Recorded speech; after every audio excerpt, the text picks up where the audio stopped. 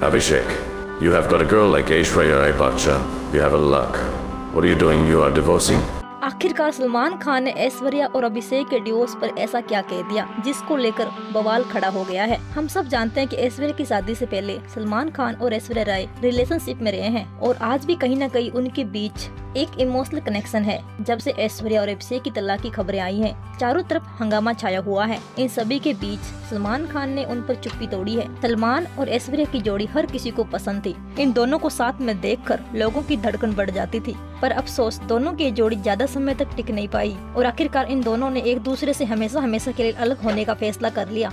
समय के साथ इन दोनों के बीच दूरियाँ बढ़ गई, पर अब ऐश्वर्या और अभिषेक के बीच बढ़ रहा गर्मी का माहौल देखकर सलमान खान ने बिना किसी का नाम लिए कुछ कहा है। उनका कहना है कि मुझे ये बेस समझौते का रिश्ता दिखता है। प्यार के रिश्ते के बीच किसी की वजह से हो रही दूरियाँ प्यार की निशानी नहीं है।